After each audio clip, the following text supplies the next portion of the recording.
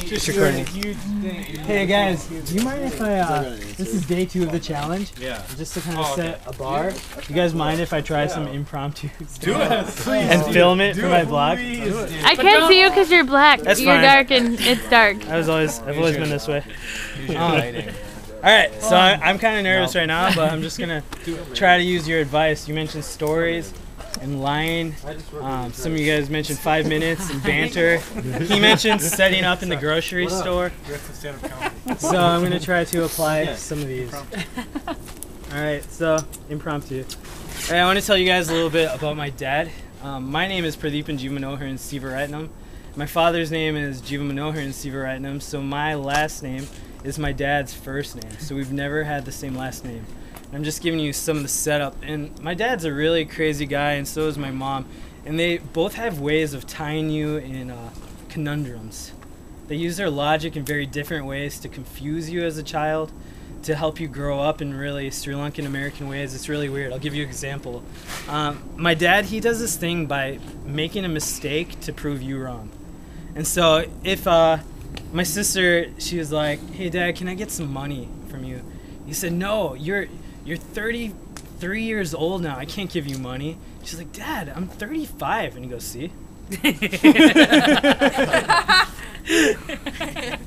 okay, you tried. All right, day two. Success! Success! All right, critiques, critiques. Do you want Give me me a give me a one pro and one girl.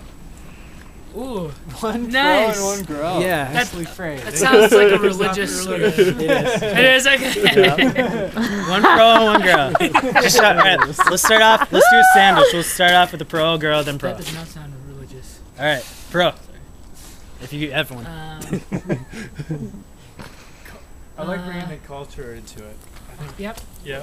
Yeah, that's funny, Yeah. huh? White people will laugh at cultural jokes. That's I good. think. true. The punchline was really good. The setup was a little bit too long. Okay. Yeah. Thank you. Good. Well, yeah. I feel like you've got a decent amount of time to like sort of like set up your like uh, like ethnic situation so Mhm. people can understand the joke. And however, this particular joke I feel like is transcultural. Like Mm. my dad could also say something like that. Right. But Mm. and also the punchline is like insinuative. You have to like, uh, uh okay, never mind. Yeah, yeah. Uh, no, it's you not like float it's, totally. you know you're like, oh yeah, it's funny because she's 35 and not 33. That makes it even worse. So you like have to do like a little bit of work in your brain before you start laughing. A little math humor. I think Yeah, that's yeah. a big that's a big thing. Is is uh when you tell people exactly what's funny, Mhm. it's not as funny as when you insinuate it what Yeah. might be funny.